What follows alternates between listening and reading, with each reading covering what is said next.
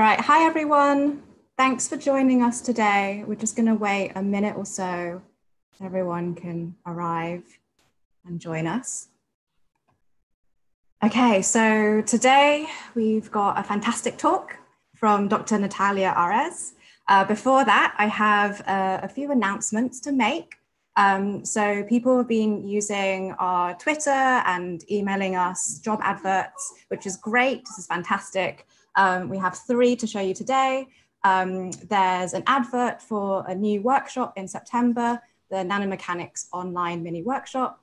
Um, there's a PhD position being advertised from Nordic Center India, and the Langevin Institute is recruiting postdocs. I couldn't fit them all on this screen, so here you can see these fantastic adverts. Um, if you're on Twitter, follow our account because we retweet all of these opportunities and uh, seminars. Um, so the nano nanomechanics online mini workshop sounds really interesting if you're working on tiny nanostructures, um, photonic crystals, uh, cooling, all of that fantastic stuff. Um, consider joining. It's a free, I think it's free, and I think it's going to be an online event.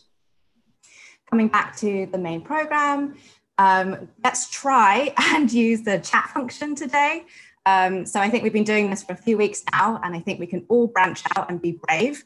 And if you just type into the chat box, hello, um, and maybe um, where you're joining us from in the world, um, what your research is, any interests you have. Let's just see if we can get some conversations going.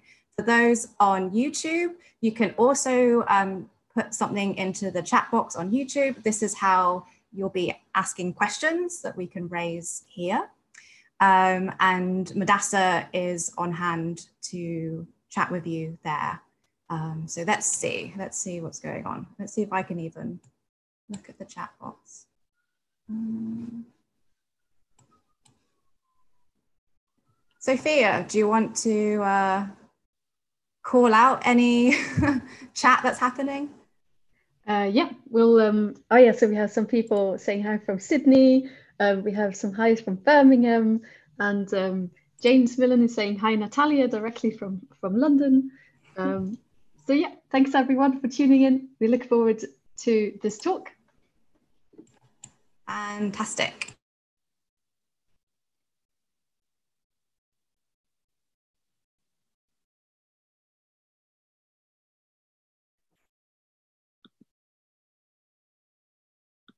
Okay, so be longer than the perspective talks that we've had before. Um, so you don't have to remember your questions, just drop them in and we'll do them all at the end. Um, Edward Laird is going to be chairing the session, so he will introduce Natalia um, and then he'll be chairing the Q&A at the end. Um, and you can ask questions right at the end if you want to ask them you know, live with your own voice um, by just simply pressing the raise hand symbol and then we can unmute you and then you can actually have a discussion with Natalia as well. Um, so with that being said, um, we have another thing, which is next week, we don't actually have a speaker confirmed for a perspectives talk. So this is kind of like a 20, 25 minute talk.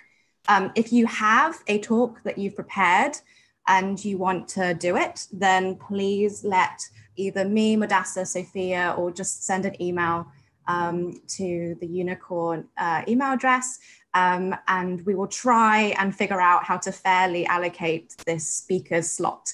Um, we'll, we'll, try and be transparent, but I mean, it's empty and it's a week away. So we're really not picky right now. Um, so please don't hesitate to nominate yourself or nominate someone else. Um, and so from that being said, I'm going to hand over um, to Edward and he will introduce Natalia and her talk. Good, thank you very much. So it's a great pleasure to introduce Natalia Ares, who will be uh, talking about the application of optomechanics to thermodynamics. Um, Natalia started as an undergraduate in Buenos Aires in Argentina, and where she worked, I believe she was a theorist then, working on quantum chaos. Um, and she then moved to Grenoble for her PhD. She worked in the group of Silvano De Franceschi, working on spin qubits in silicon nanowires. Um, she then moved to Oxford uh, where we started working together. And she's been now in Oxford for, I think, six years, uh, where she has been, let me make sure I get this right, Natalia. She has been successively a Marie Curie Fellow, a Junior Fellow at St. Anne's College, and a Royal Society University Research Fellow, which she is at the moment. So, Natalia, it's a great pleasure to have you. And I will start off um, by interviewing you for a few minutes about your, your physics career. Could you tell us, first of all, how you became interested in physics? Oh, that's uh, that's a good question. Well, first, uh, thank you, Edward. Um, great. Um, thank you for the introduction, and uh, you know, it's a real pleasure to be here. And um, as you mentioned, we work together, so that's that's very nice. And um, yeah, how did I become interested in, in physics? Well, that's uh, um, uh, actually a, an interesting interesting question because I, I didn't know it was you know being a physicist was an option. I thought uh, you know you could be a medical doctor, uh, you could be a lawyer, but uh, physics was not really um, you know one of the things that that I thought it was it was possible. So um, the way I, I became acquainted with physics was that, um, of course, I had a bit at, at school, but I, I, really didn't get the full picture there. So I um, I was going to a, a, a course for for um, um, you know for, for school children about um, science. Uh, this is in, in, in Buenos Aires in in in uh, what is there the, the atomic center and i thought it was uh, you know, I thought it was very exciting, and I thought it was, um, you know, that we could do like small experiment, like experiments, like even playing out with liquid nitrogen, and and I thought that was um, really exciting. And then uh, I realized, you know, sometimes people would come and speak, and and give talks. And then i realized some of those people were physicists really you know you could be a physicist and and it was a really cool job. So i thought oh well that's that's what i what i uh, want to do. So i think it is um you know i i, I guess from that experience i i, I think it's um it's very important to uh, you know, uh, do outreach and talk and and and, and because uh, you know you you don't know um, the people that you can be inspiring and um, you know, and uh, you help them uh, discover what you're what they are really passionate about. So um, I'm really glad I went to that course when I was um, when the, when I was a, ch- a child. Really. Thank you. And you have an unusual biography in that you started your research career in Buenos Aires. Um, could you tell us what were the best things about studying in Argentina and what differences did you find when you moved to Europe? Well, I I mean, um, I I don't think I um, have an unusual background in the sense that I you know I studied uh, physics um, in one very very good university. This is um, the University of Buenos Aires. It's uh, uh, you know in the QS World Ranking is something like 66 or something and it's it's gonna be um, it's uh, 200 years it's, it's gonna become 200 years old next year. So it's, it's great university. And um, and then you know I moved as you said I moved um, to a PhD in France in physics and um, you know things okay apart from the the fact that I changed from theory um, in my masters to um, to experiments um, you know it was uh, not that much of a change in, in terms professionally I would say but um, something that I do think it is unusual uh, of my background, I think, compared to other people that are in academia. Um, not everybody, of course, and this is very personal, but I think I did um, what is unusual. I think it's that um, I feel that I made a big sacrifice. Um, I, you know, moving so far, uh, being young, and um, uh, it was it was difficult. I won't say that it was easy, um, but um, but yeah, I had um, I think I gained a lot from that experience, and I keep on um, you know uh, learning a lot from the different places. Um, you know, I lived in France, now in the UK, and yeah, they they have been fabulous uh, opportunities, and I'm, I'm I'm really glad that I I did that um, the jump. okay. The ocean jump. Good. So I know you have moved around a little bit between different fields, and I know that as well as quantum thermodynamics, you have interests in artificial intelligence for quantum devices. Could you tell us generally what is your approach for selecting scientific questions to work on? Well, uh, you know, although as I said, you know, I started doing quantum chaos, that it's uh, super theory. Uh, well, now it's starting to become a bit more um, experimentally approachable. But um, I really like topics where I feel that experiments can really make a, a significant contribution.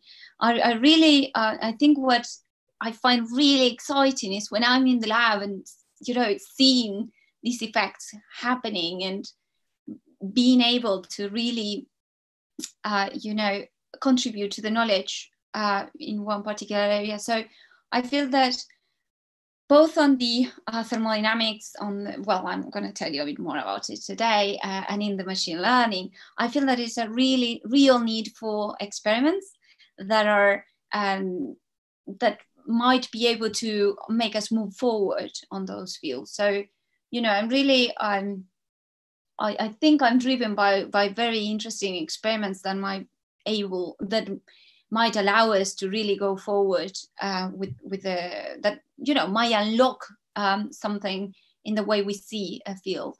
And I, I feel that uh, quantum thermodynamics and, and the machine learning side have, have are not as well explored and that there's still room for experiments that might uh, have that effect.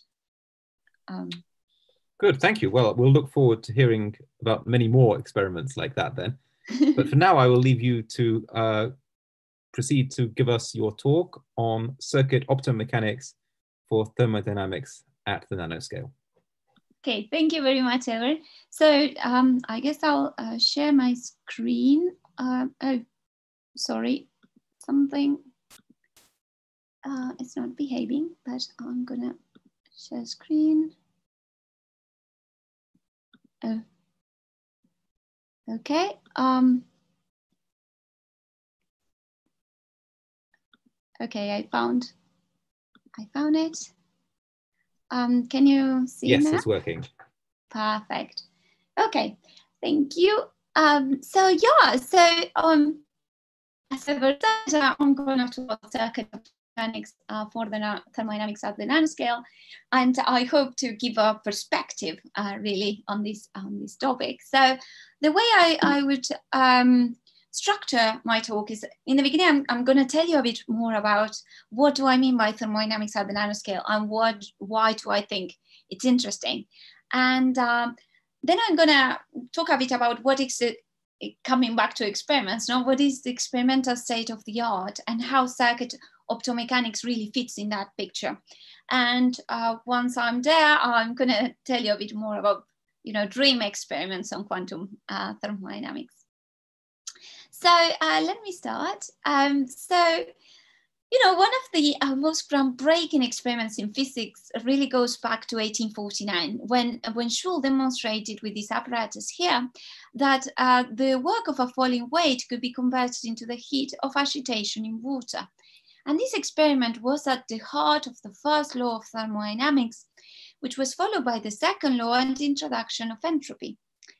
Um, so now what I think is uh, very interesting is to try and understand what happens with heat, work, and entropy in a small scale in which fluctuations are important and quantum effects might arise.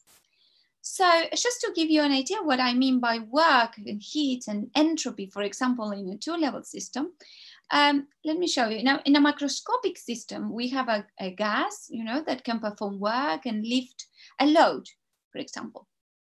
Now, in the um, in in a uh, two-level state, for example, we would think as work as, a, the, as the ability of performing excitations in a two-level system. So um, this imagine that if you if you have uh, many of these two-level systems, then we can perform macroscopic work. For example, in the case of laser. So um, this is the picture uh, we want to explore and where we, we want to find these correlations between you know, uh, or, or, these uh, correspondences uh, between the classics and the quantum uh, thermodynamics, or, or really uh, the thermodynamics at really small scales. There is another very interesting aspect of thermodynamics that has to do with the concept of information. So um, this was um, a concept that uh, was, well, I mean, this started as an experiment uh, that Maxwell uh, proposed in 1867 to show um, like some, like apparent uh, paradox for the second law of uh, thermodynamics. And, uh, you know, just to um, not remind you, but um, you know, uh, put in context these experiments, you remember that, um, you know, you can remember from uh, this, this um, kind of a song that says that, um, trying to describe the second law of the thermodynamics that says heat won't pass from the cooler to the hotter. Uh, you can try if you want, but you are far better not to and uh, and I think you know that's um, that's uh, what in principle we know about the second law of, of uh, thermodynamics. Um, but uh, what um, this uh, thought experiment um, was saying is that, well, okay, I mean, I, I do understand this. Um, heat won't pass from the cooler to the hotter, but something I can do is I can grab a box, uh, separate it in, in two parts. And then, uh, well, I would I, I, can have it with hot uh, particles mixed with cold particles. And then something I can do is try and uh, take a peek and see what's, um, you know, the velocity of, of these particles. And uh, if I see that um, there's going to be a particle that it's hot, I can leave it, you know, I can open a little door, the white door there, and leave it go to the hotter side. Um, so it's basically uh, what it's doing is trying to um, you know um, pass heat from the cooler to the hotter so now why is this not a, a violation of the second law of thermodynamics well the reason is that you have to know um, well there is a bit of information that you require you require to know the velocity of the particles that are involved and um, that's the only way you can really uh, act against um, the second law. And so it's all taken care um, for uh, in, in if, if we think that information has a cost and a thermodynamic cost. And, um, this is a very interesting aspect of thermodynamics that can be taken, that can also be taken uh, to the uh, quantum regime. So um, let's say familiar experiments, uh, experiments that are very closely related to the Maxwell demon, uh, the Szilard engine and the Landauer erasure. And let me tell you a bit uh, about these um, because I'll be mentioning them a lot. Um, but these concepts are very similar to the one of uh, Maxwell demon. Um, so one, it's an engine, the Szilard engine. And the idea is that you have a particle and you don't know now we, we are talking about just one particle, uh, but you just don't know if it's in the left or in the right side of this uh, volume. But you can put a partition and uh, there might be a, a, little demon that knows if that particle went to the right or the left side. And if it knows, then it can attach a load to that partition and make the particle do work against it. So you can see it's a little engine and the only thing uh, it's powered on is the knowledge of the demon. Um, so uh, also um, correlated, um, well, uh, related to this experiment is the Landauer erasure. And uh, in the Landauer erasure, we have a, a, particle that can be in the right or in the left side of this volume. And we can, you know, remove the partition and let's say make the volume um, being um, half what it was. And then what we have done, either the particle being in the left or in the right side um, to start with, it would uh, finish in a definite state. So it has started in an unknown state and it has finished in a, a definite state. So again, at this um, erasure of information, it requires energy to be dissipated. And this is how we save, um, again, the second law. And the energy required for uh, this uh, erasure is kBT log 2. So the Boltzmann constant, the temperature at which we isothermically uh, move the piston, and uh, the um, multiplicity of states in this case uh, too. So um, you see that uh, here how, how the concept of information again um, it's uh, it's a very interesting one and, and can lead to um, you know um, very interesting scenarios. So uh, let me tell you what how um, far experiments got in this uh, in this field. Say, and uh, you know I'm, I'm not gonna. This is not an exhaustive list of experiments. There are many others that are equally uh, brilliant. It's just that um, just to illustrate a few points, I, I chose some. And um, uh, of you know the first experimental realizations and and and these um, that I'm showing you here, the, these were done with uh, colloidal particles.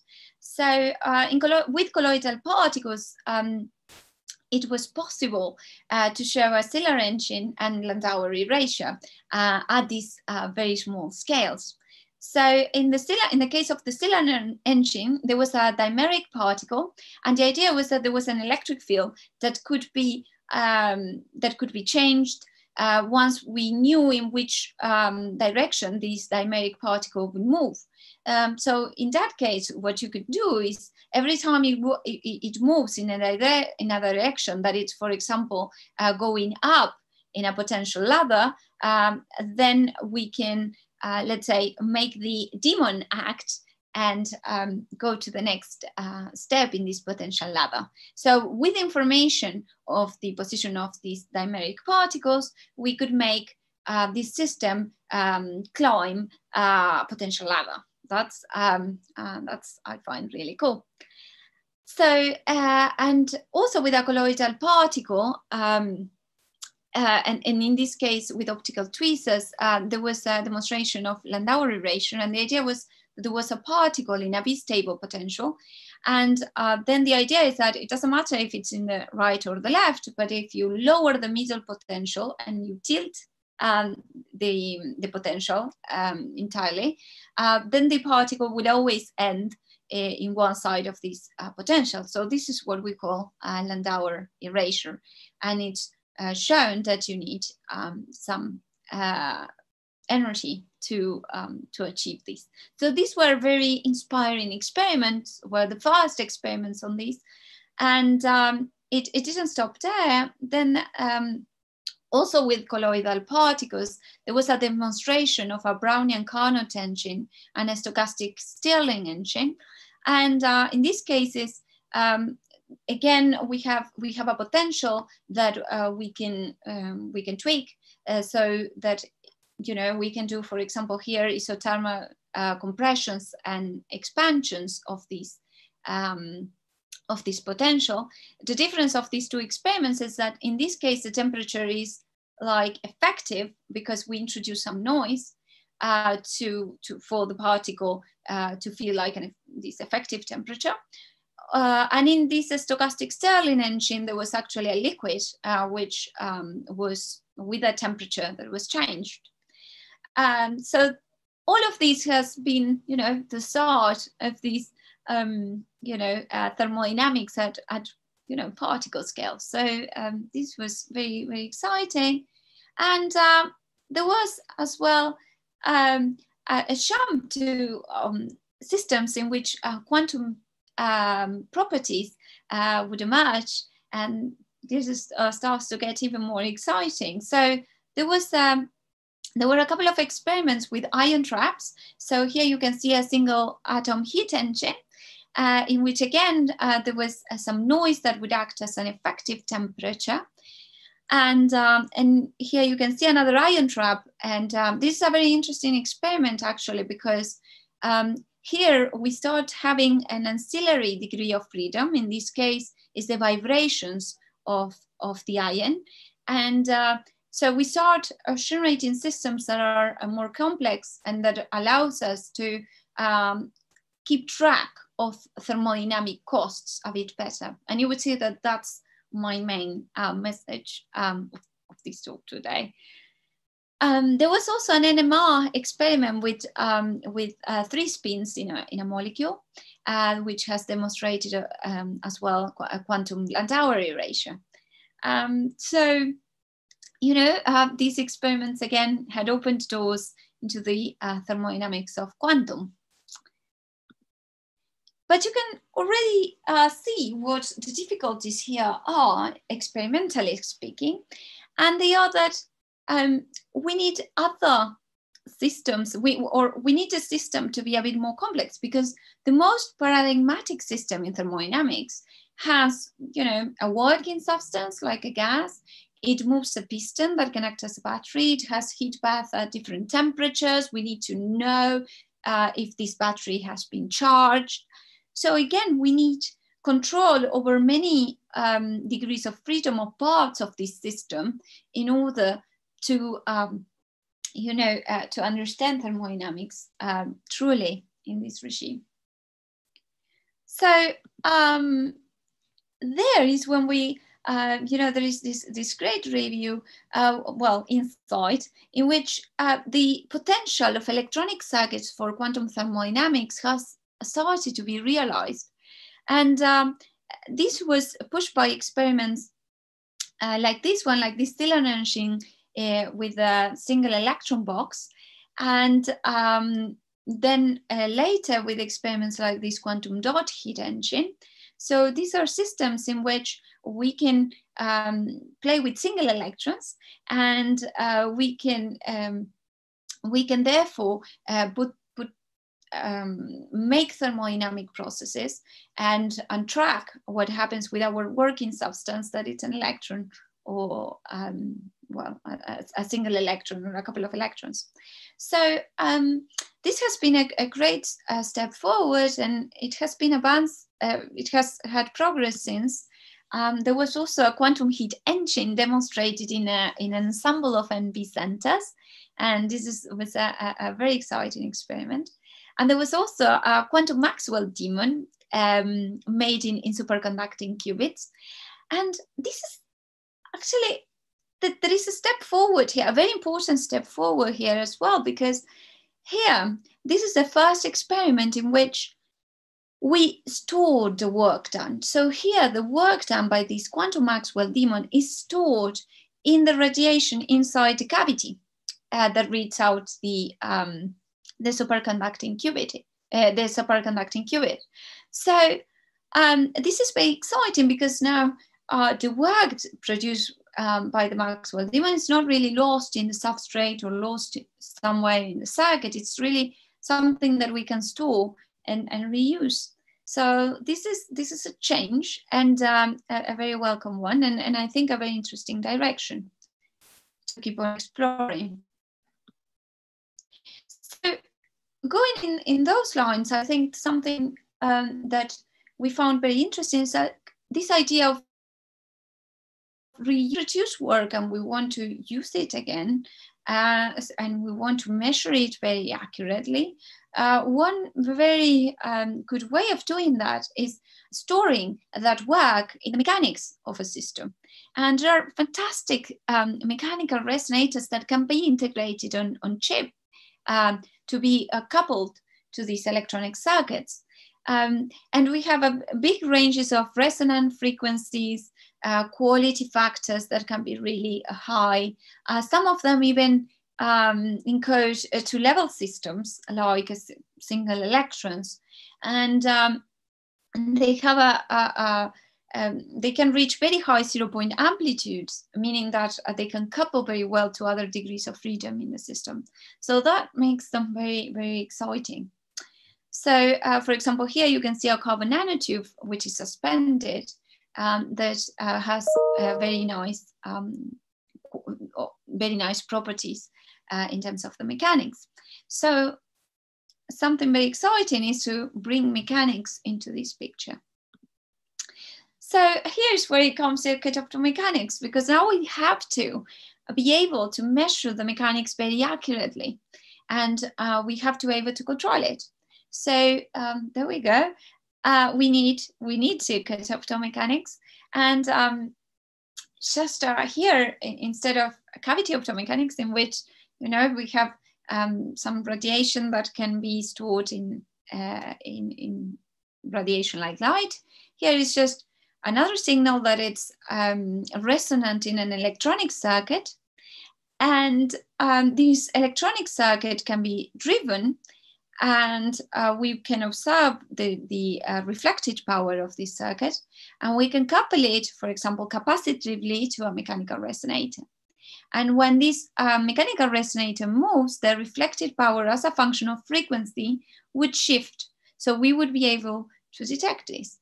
And uh, so it's the same, um, the same idea, um, it's just that we can do all these on chip uh, with um, our uh, very nice uh, solid state devices. So um, circuit optomechanics has, uh, you know, been um, fantastic because it has allowed uh, many exciting experiments happen. Like um, there was entangling mechanics with microwave fields. Also, there was entangling of two mechanical resonators, two drums, uh, which was um, really a groundbreaking experiment. Um, so, you know, the question is what can circuit optomechanics do for um, quantum thermodynamics? And uh, I want to show you an example here of, of something we, we've uh, done in our lab, uh, which is to uh, understand the thermodynamic, the thermodynamic cost of, of timekeeping uh, using circuit optomechanics. So let me tell you what I'm talking about, about the thermodynamic cost of timekeeping. And this is a cartoon of um, um, made by uh, our collaborators in which um, they, they kind of illustrate the idea. Um, and the idea is that, you know, a clock is a, is a machine. So uh, we have a hot bath and a cold bath and the clockwork can produce ticks. And this is an irreversible process. And then we have some way to register these ticks. And, um, and this is a machine and it has, uh, therefore, this, this counting time has you know you have to pay uh, for there is um, you know no free minutes so you you have to pay uh, for in, in, in, thermodynamic costs uh, for uh, for every tick you count. So um, the question is how do we measure this? How can we really um, you know check what are these these costs? So, um, well, one of one way of doing it is again with a with a mechanical resonator. So we can think of the clock as really a mass hanging from a spring, and uh, you know what we can do is heat the environment, and then the uh, you know the mechanical resonator is going to start to move, and we can probe this uh, motion, uh, and uh, well, we can say, well, every time that we see a, a, a maximum, we would count tick okay? So um, there we have a clock and we can count how much we heat the environment. And there's going to be some dissipation of the system, of course, but we can count these, the thermodynamic costs. Now, how we actually do this in the lab? So uh, what we've done was to place a very thin uh, silicon nitride membrane. Uh, this is 50 nanometers thick. You can see a, a picture of it here. Uh, over two um, electrodes and one of these electrodes, we, can we have connected it to a, to a circuit and to a radio frequency circuit that we can drive and that we can measure the reflected power of. And we can also um, excite the membrane with a given signal, for example, uh, um, uh, well, some AC drive, right? Uh, so here you can see this is our sample in a, in a sample board, and you can see this, this cavity uh, that is formed with a varactor and with, a, with um, a chip inductor. Um, so this is this was our experiment, and um, just to show you that we have to heat uh, our clock, uh, instead of driving the measurement with a coherent tone or with a single tone, we have driven it with noise. This is our way of heating effectively uh, the mode temperature. So um, this is a, way for us to heat uh, the, the membrane. So, uh, and then we can monitor the cavity signal and see, as you can see here, the signal uh, that comes from the vibration of the membrane as a function of time. And again, we can say, okay, every time this goes to, uh, this has, the signal has a maximum, I would go like tick, tick, okay? So I can count ticks now. And, um, and the question is, well, how, you know, this uh, power of the noise would relate to the accuracy of, of this clock. So how much, uh, let's say, I have to pay for a good clock. And uh, So, and, and what um, here you can see is that again, we have the power, um, which is our resource, the, the power of the white noise that we inject in the circuit.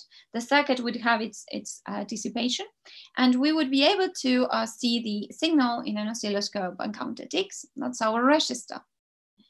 So what we have learned uh, in this experiment, well, um, we, we have learned that uh, we can we can define the accuracy as the of a clock, like uh, counting the ticks, the number of ticks divided by the standard deviation of the um, of the length, let's say the time uh, space between ticks uh, squared.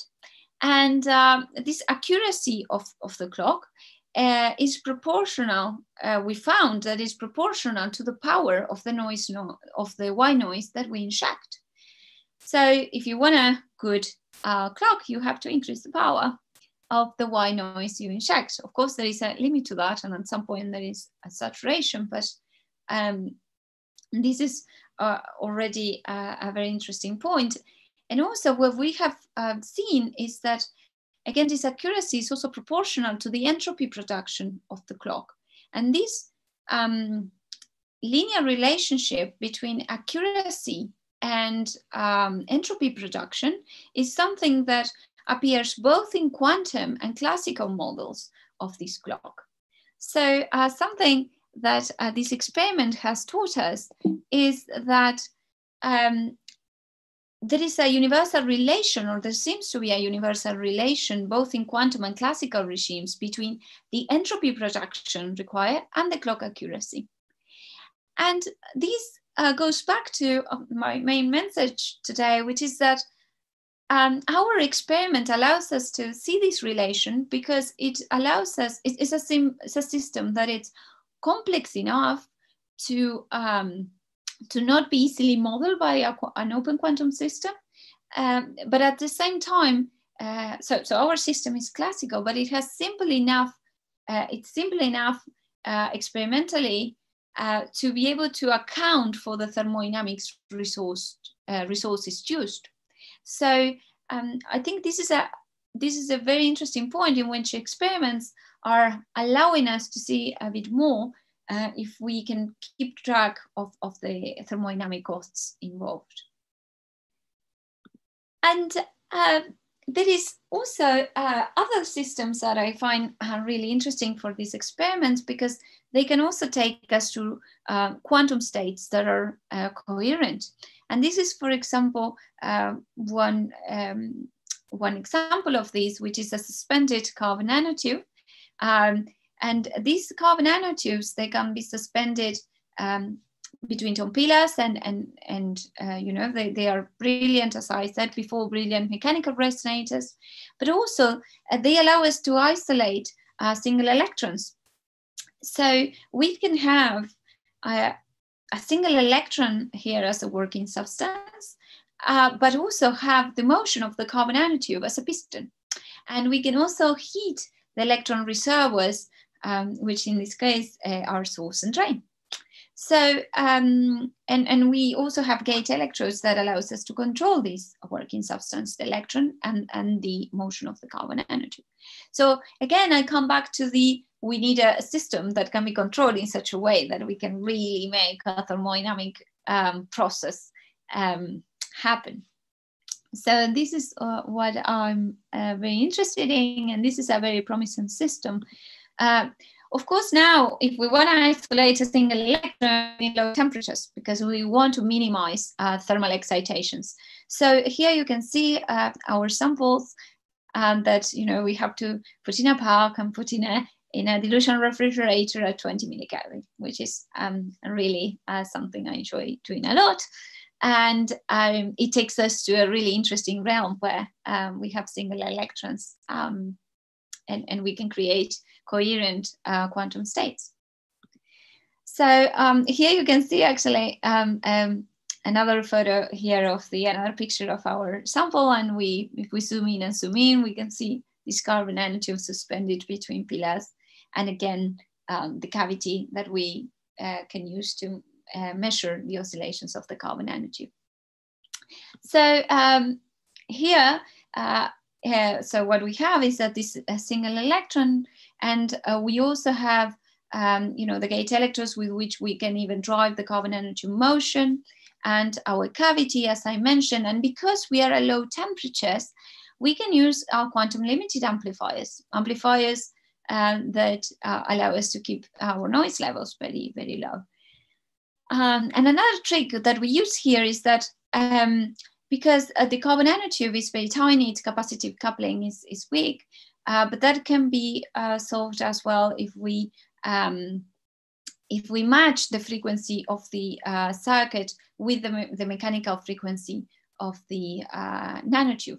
So um, in this way, uh, we've managed to measure the, the, the, motion of the carbon nanotube with a precision that is something like 470 times on the standard quantum limit.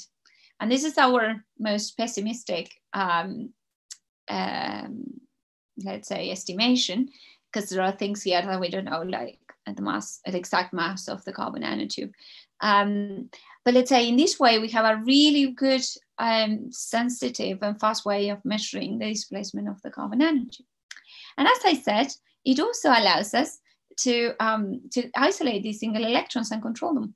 So um, for those of you that are, are not so familiar with, uh, with transport, um, so what we have here, we have an schematic that we have because the electron um, is confined in, in a very small part of the carbon nanotube. It has uh, discrete energy uh, transitions. And you can see here the, um, the electron reservoirs. And if we apply a bias between our electron reservoirs, um, and uh, we, we can activate transport. Um, but we can also activate transport by uh, shifting the transitions with a gate voltage. So this is uh, what it's illustrated here. You can see now we have activated uh, transport through this channel. And as I said, we can also uh, see the current as a function of uh, gate voltage and, and we would see that uh, at some point the current is blockaded and at some point the current increases because uh, other uh, channels for transport have been activated. Um, so if we move the bias as well, as I said, we can also activate uh, transport. So we have these basically two knobs. So if we measure the changes in current and the conductance as a function of gate and bias voltage, we would see these uh, diamond shaped regions in which the number of charges inside the uh, carbon nanotube are fixed.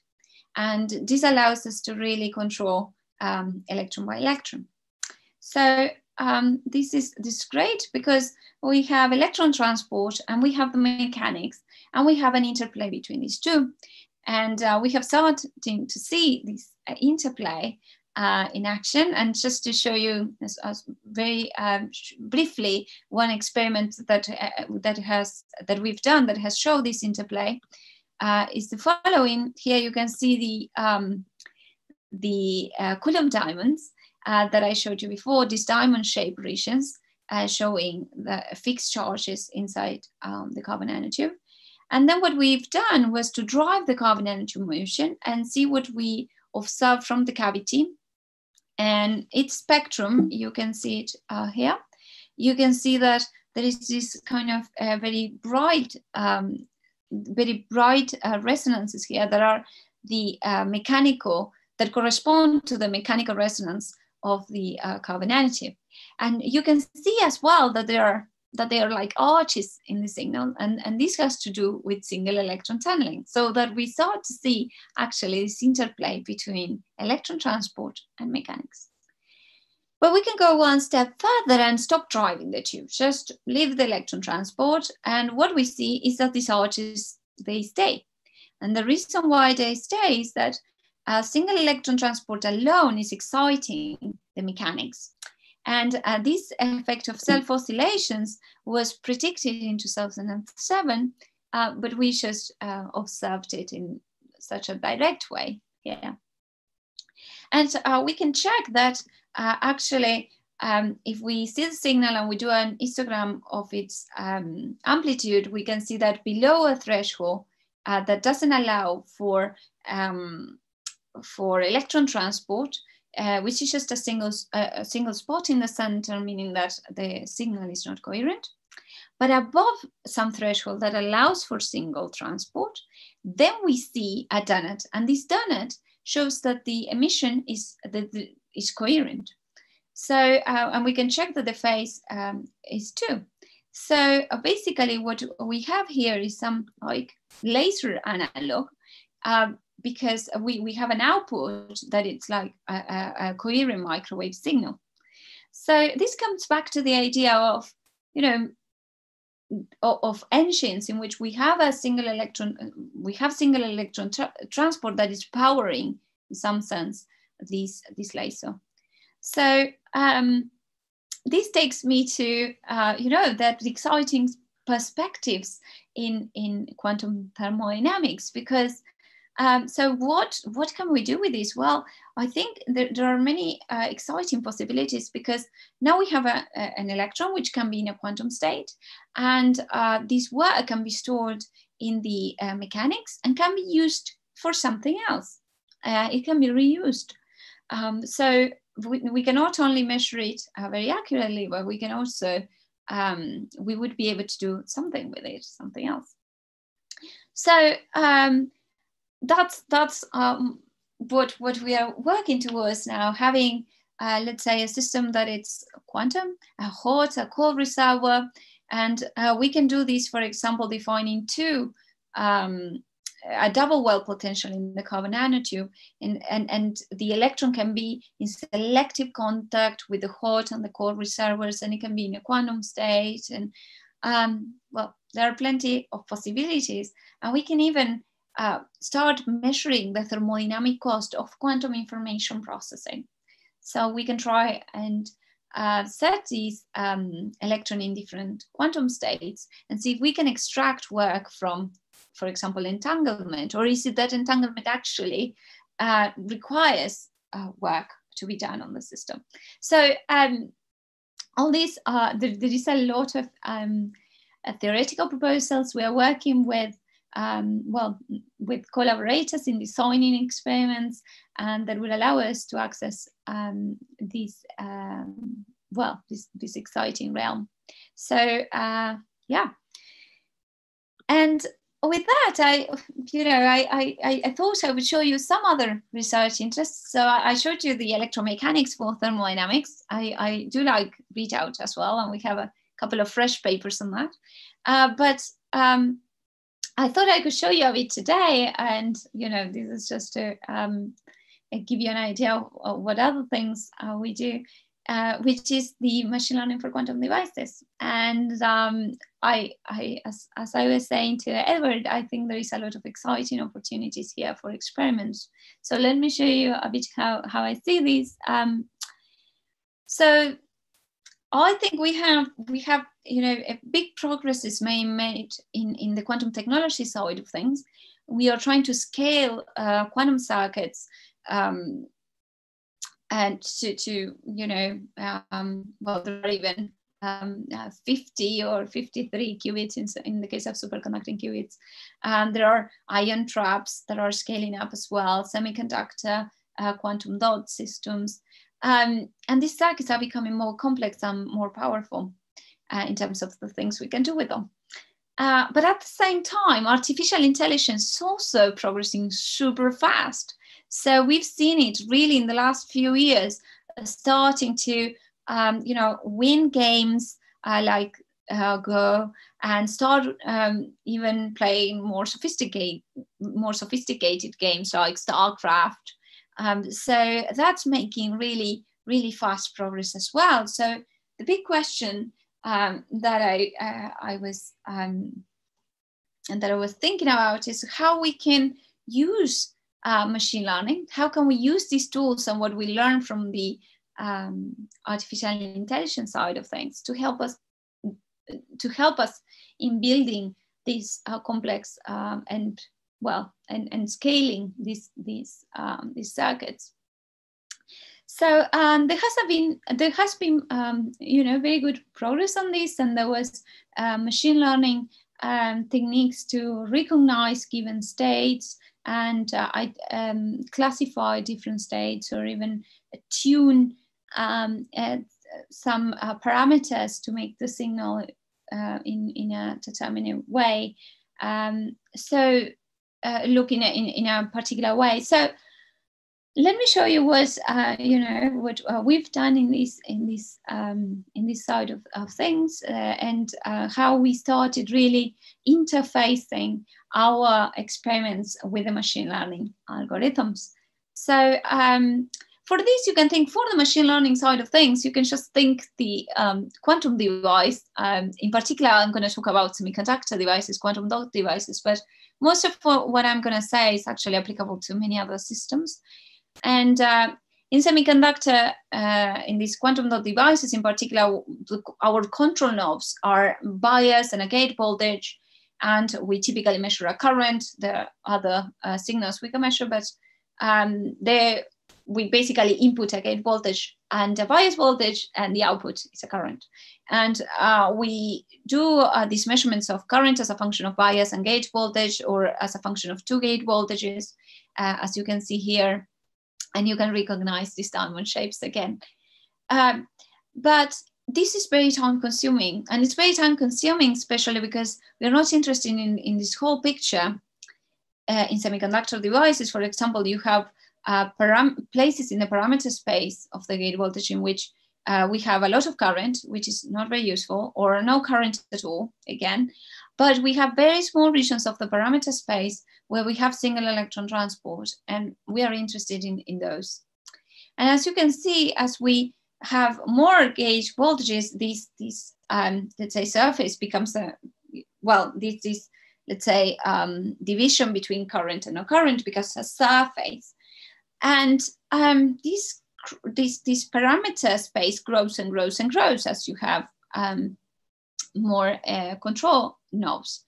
So um, you know, doing a back of the envelope calculation, if you if you have one qubit, you can have four gate uh, electrodes, and then you can, you know, if you have um, a, voltage range between um, of four volts, and these signatures you're looking for are one millivolt, so that makes something like four times to the uh, 10 to the 12 points that you have to look at. And then if you're measuring at 1000 points per second, um, well, that gives you 127 years. So obviously we don't do that. We don't wait that long, but this gives you an idea of how big the parameter space is. So um, typically by hand, we should have tricks and ways to look for it. Uh, but each device is different. And this is because there are differences in fabrication, there are differences in uh, the materials. And uh, every time we have to uh, go through this tuning procedure again and again. So uh, how can machine learning help? Well, we have this uh, surface here that separates current from no current. Uh, here you can see a real one, one that we have measured. And the thing is, can we make an AI, let's say, go and explore the surface in the in the search for the features uh, that we're looking for. And this is a bit for those of you that know Minecraft, this is a bit like being in a you know um, dark cave with a torch and going looking for diamonds. And when you get diamonds, uh, then you're happy. And uh, and you know you have to explore the rest of the cave to see where you would find diamonds again. So this in machine learning is, is a known problem. It's the multi-arm uh, multi-arm bandit problem. So here, you know, you have a gambler and the objective is to maximize the reward. Uh, but now the question is which machine uh, would this gambler um, play next? So it can, let's say, exploit the fact that it knows this machine here has a high current success rate and play that one. Or it can explore this other machine, which you know it doesn't know which is the current success rate, but uh, it might be higher. So this is um, basically uh, the idea behind, and it's called the exploration versus exploration trade uh, exploitation trade-off. So um, what our uh, uh, what our algorithm does is to um, basically uh, if we see this uh, current no current in, in 2D and just for illustration, it will start measuring and um, the AI wouldn't know where this pink region is. But as soon as uh, in these measurements is a drop in the current, it would say, okay, uh, I think I hit a hyper surface or this surface. So it would explore around. And there are two possibilities. Is there are features or there are no features. Um, but in this way, it would create a model of how this surface looks like. So that's fantastic uh, because with this model, then um, we can pick uh, more accurately which it's going to be the next point to explore. Uh, I mean, the the the machine would uh, pick uh, more uh, with more information where to where to explore next. Uh, and there is where it comes the exploration exploration trade-off, right? It should explore the place, but at the same point, at the same time, um, use the information it has so about the hyper surface. So in this way, um, it would investigate around uh, promising points and it would allow us to reach places in which we can operate our quantum dot devices, for example, these islands here in current. So um, this is uh, fantastic. This um, I, I was very keen on telling you about this today because we did this in eight dimensions and uh, the paper has come out in Nature Comms this morning. So um, we're celebrating that. I'm very happy. So um, yeah, welcome. Um, yeah, I hope you find it interesting too. Um, I see that I'm running a bit out of time, so I'll I'll jump a couple of things I was going to show you, um, and I'll go straight uh, to the summary, uh, which I'm going to leave there. But first, I'll um, let me thank all my colleagues and collaborators um, and uh, well, the uh, here you can see a, a, photo of our group showing us if um, uh, you know we're always looking for um, motivated people to join us and, and have fun. Uh, so well, I'll leave the summary here. Thank you very much. Thank you, Natalia, very much for that. Um, so I should soon somehow be able to see the questions, any questions that we have. Um, so I do not see in the Zoom chat any questions yet. So to remind the audience, if you have a question, please type it in the chat bar, whether on Zoom or on YouTube. Um, I could ask you a, a general question about quantum thermodynamics, which is to explore quantum thermodynamics, to be properly quantum, do you need a qubit or can you exploit other aspects of quantum behavior, such as measurement back action, for example, or, or shot noise, which no. are less less severe quantum demands. Yeah, no, uh, totally. And I think I think um, you know these these systems um, that uh, that I uh, that I find so interesting with have which have um, you know like mechanics coupled to uh, quantum degrees of freedom. I think they are very complicated uh, to control in the right way. So of course, I think these uh, we would make um, baby steps in the sense that I think there's a lot to understand first uh, without having really a, a, coherent state and manipulating that coherent state. Um, and let's say, you know, build a superposition that you can extract work from. I think uh, that's a very interesting goal, uh, but there are, as you as you say, there are many things uh, that you can do um, without um, a, a, state in superposition, and you can explore uh, many of these options in, in these systems um, with less uh, stringent uh, conditions. Right, yeah. but you think still beyond classical thermodynamics? Yeah, indeed. Um, so for well, I mean, some of the things uh, as, as we have learned uh, with uh, some of the aspects of thermodynamics as we have learned uh, with the clock, um, even being completely in the classical regime gives us an idea of how uh, the interface between the classical and the quantum uh, regime work. So, um, so when we call non-equilibrium thermodynamics, let's say to the thermodynamics of, um, let's say, fluctuations, and um, there is a lot to do in uh, non-equilibrium thermodynamics, even not going towards uh, quantum thermodynamics or, or even quantum information thermodynamics, where we got into also the um, the quantum information side of things.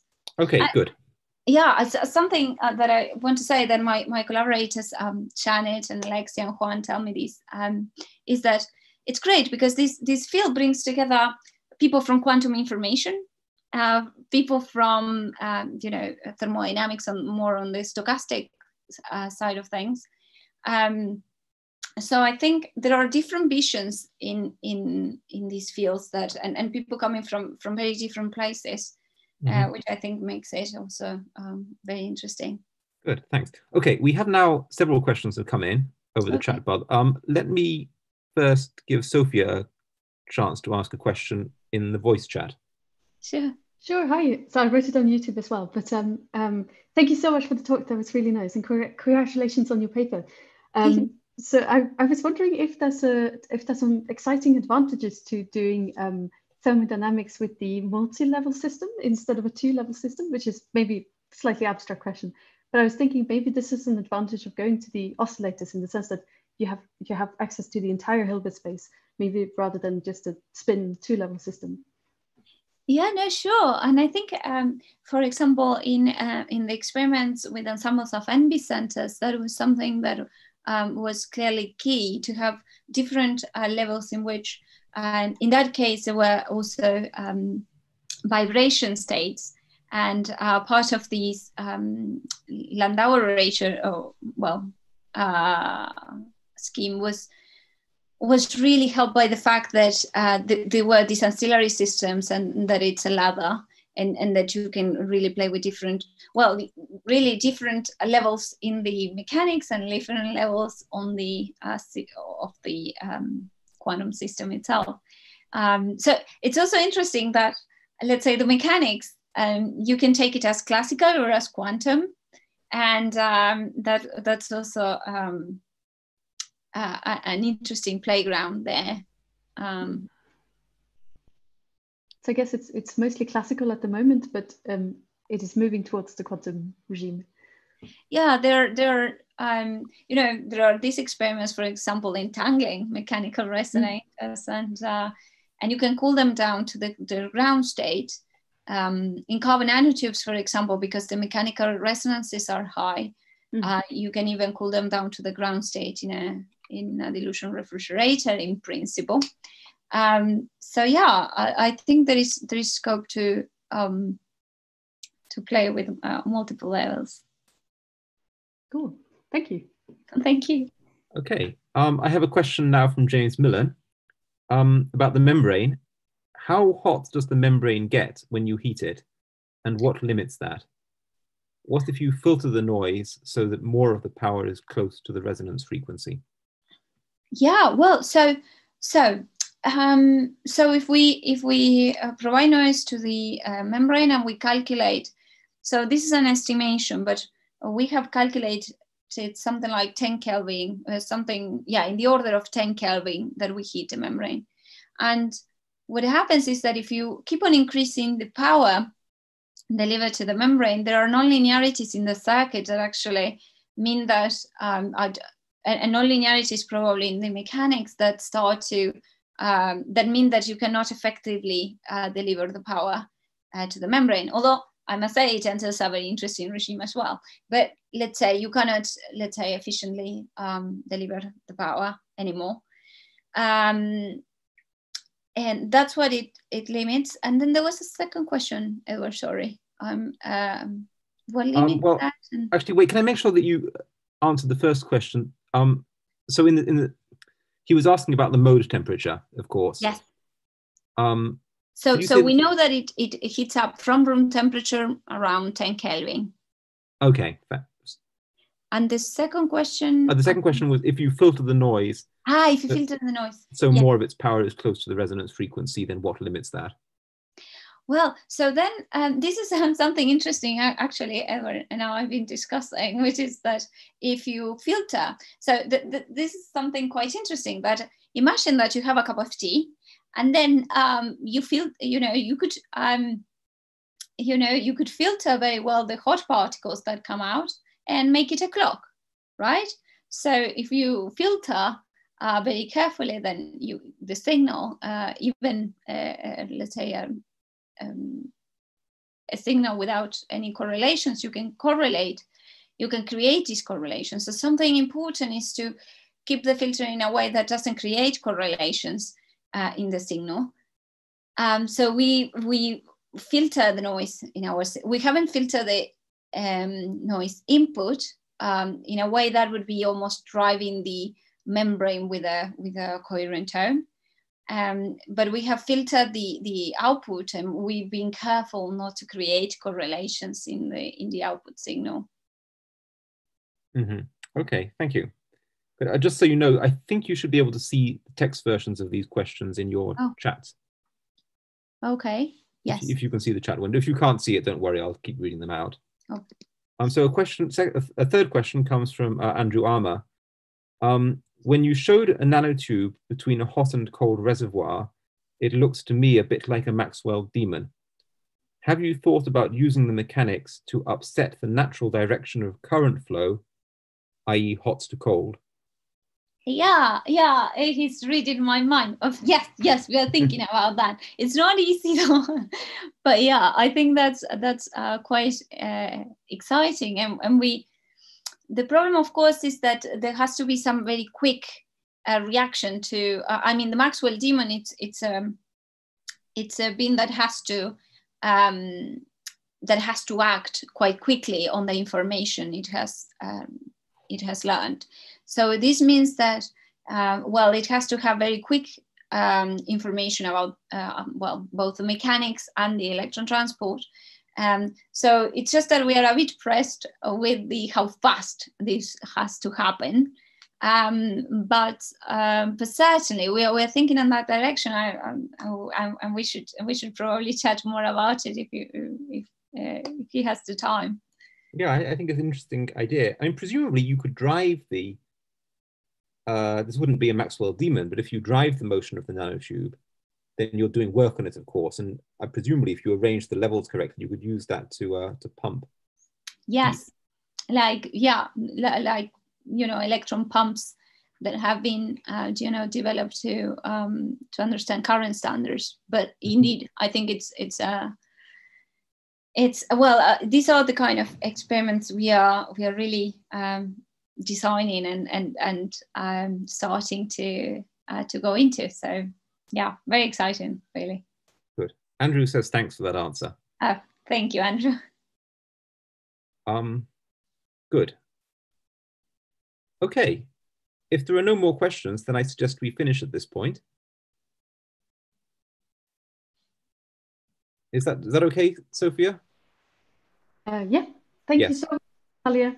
Okay. Um, well, thank-, thank you everyone for joining. We, we had some people say hi from, we had people from Sydney, from the Czech Republic, I think, um, and, and for all, for all over the place. So thank you everyone for tuning in.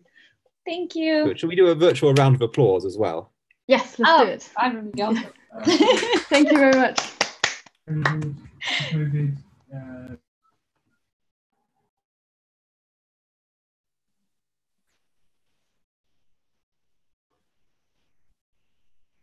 Okay, right, thank so, you. Yeah. Bye. Bye.